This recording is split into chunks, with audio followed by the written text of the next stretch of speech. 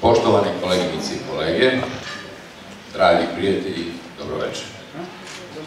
Odavno nismo bili u ovako velikom broju na Skupštini i to je činjenica koja me jako raduje. Godinu koja je izmaku pamtit ćemo kao jednu od najtežih za našu lekarsku profesiju. Od demotivisanih i marginalizovanih lekara, stomatologa i farmaceuta, tražio se visok procenat izvršenja, ukidanje lista čekanja i svetski kvalitet u pružanju zdravstvenih usluga u srpskim uslovima. Pacijent je i dalje imao pravo bez bilo kakvih obaveza i više nego ikada naš esnaf je bio pod lupom javnosti. Ali setimo se kako je bilo recimo 1999. godine u vreme bombardovanja ili 1993. u vreme najžešćih sankcija i međunarodne izolacije. Da li je tada bilo lakše? Nažalost, generacijama članova naše podružnice postaje više nego jasno da ne postoje idealni uslovi i da ih još dugo, dugo neće biti. No mi u predsjedništvu odlučili smo da stvari u narednoj godini pogledamo drugim očima, jer kako reče pisac, lepota je u očima posmatrača. Dozvolite mi da na trenutak budem ličan i sa vama podelim jedan događaj za koji sam siguran da ste svi u svojoj karijeri već doživjeli.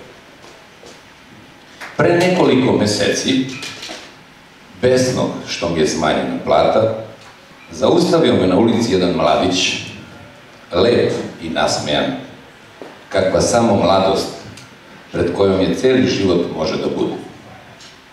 U prvi maj ga nisam prepoznao, ali sam iza blistavog osmeha očas video dečaka koji je pre samo par meseci jedne noći ležao na operacijnom stolu, bled i šokiran, u teškoj sepsi sa 18 dana prsnutim slepim crevom.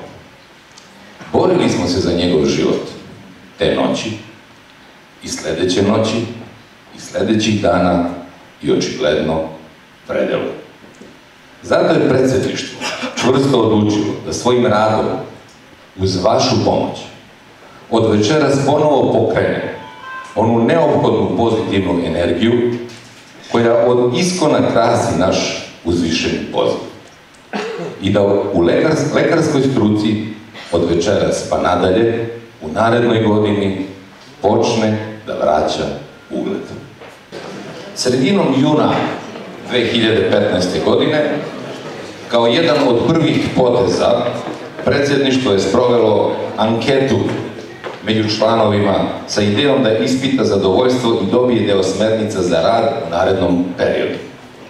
Anketi se odazvalo 107 naših članova, što je bila odlična cifra.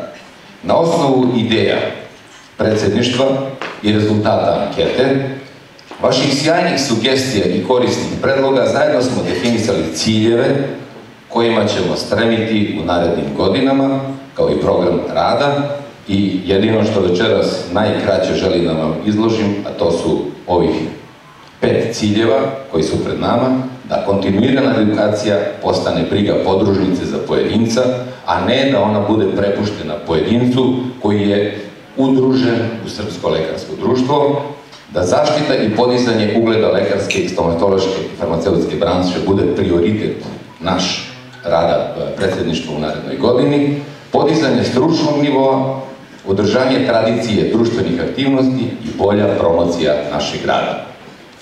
Program kojim ćemo doći da, do ovih ciljeva i ostvariti jeste organizovanje redovnih mesečnih sastanaka u okviru kontinuirane medicinske edukacije, promocija rada podružnice i podizanje ugleda, dakle formiranje sekcija, i to je već i završeno da vam kažem, aktiviranje časopisa Medicus, povećanje komunikacije i informisanosti među članstvom, organizovanje društvenih aktivnosti, uvođenje nagrada, osnivanje leka, sekcije veterana, povezivanje sa udruženjima drugih zemalja i ulaganje u budućnost.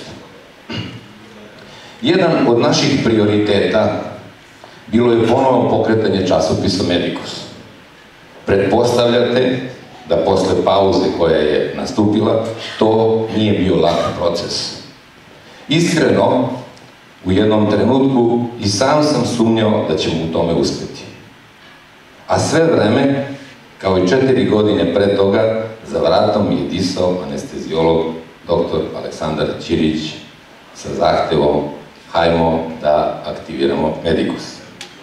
20. broj Medikusa upravo je u štampi i ovo je njegovo elektronsko izdanje sa devet sjajnih radova, devet sjajnih autora, ali više od toga ljudi, mi smo uspjeli u kardiopulmonalnoj reanimaciji našeg časopisa Medicus.